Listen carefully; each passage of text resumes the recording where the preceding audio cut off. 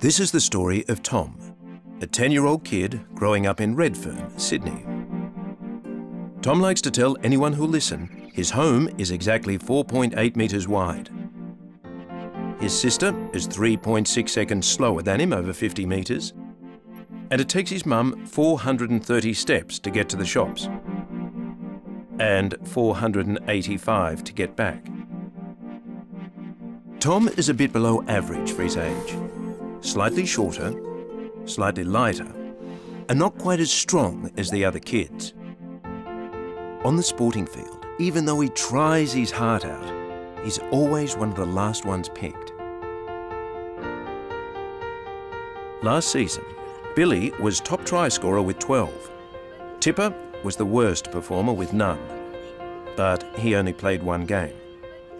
Tom scored one try. It wasn't an important try, but it made him feel very happy all the same. It's academically where his performance hurts the most.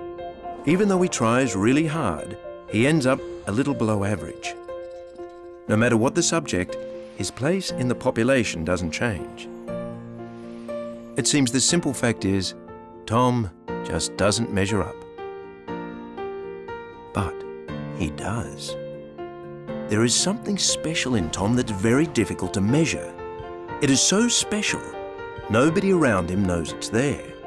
Not his little sister, not his mum, not his mates, not even his school. He is creative.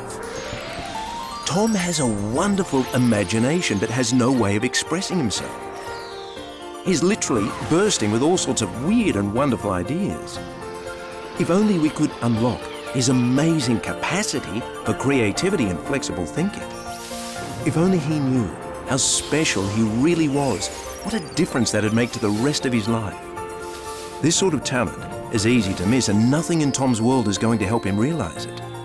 So, Tom's extraordinary ideas will stay in his head. And who knows where he'll end up. But what if? What if? What if? What if? What if there was a place Tom could go where he could unleash his ideas? What if? What if? What if he could meet one of Australia's greatest writers? What if? What if? What if they taught him everything they knew about getting their ideas onto the page so that he could do the same? What if? What if?